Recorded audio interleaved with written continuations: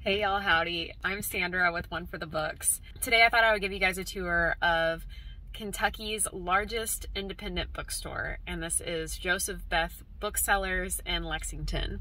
It's a really cool bookstore. It's really beautiful on the inside, and even the entrance is super cool. So I'll just do some filming while I'm walking around. They're having a sale today, so I thought it was the perfect day to come over and check it out with you guys. Later in this video, I'll also be giving you a tour of, in my humble opinion, the coolest independent bookstore in Kentucky, which also happens to be here in my city of Lexington. I can't guarantee that it is actually the coolest because I can't say that I've been to every independent bookstore in Kentucky, but it definitely is. I think if I even if I went to every single independent bookstore in Kentucky, the it would still be up there. So we'll get to that later. Right now, let's go check out Joseph Beth.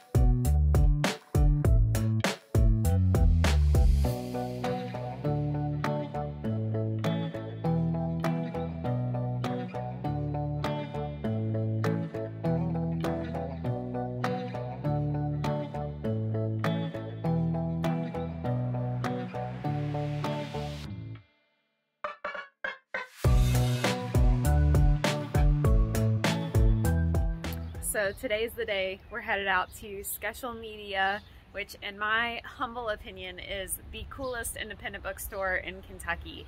It's a little bit quirky, it's a little bit hippie, it's a little bit everything that you would want out of a quirky hippie indie bookstore. It's got a lot more than just books. It's also kind of like a gift shop, a stationery shop. They sell rugs and trinkets and like coffee mugs and all kinds of bizarre stuff. It is my absolute favorite place to go shopping. I always find stuff that I want there and I always find stuff that I think are amazing gifts for other people, whether it's a book or something super random that I never would have expected to find. So let's go check out Sqecial Media.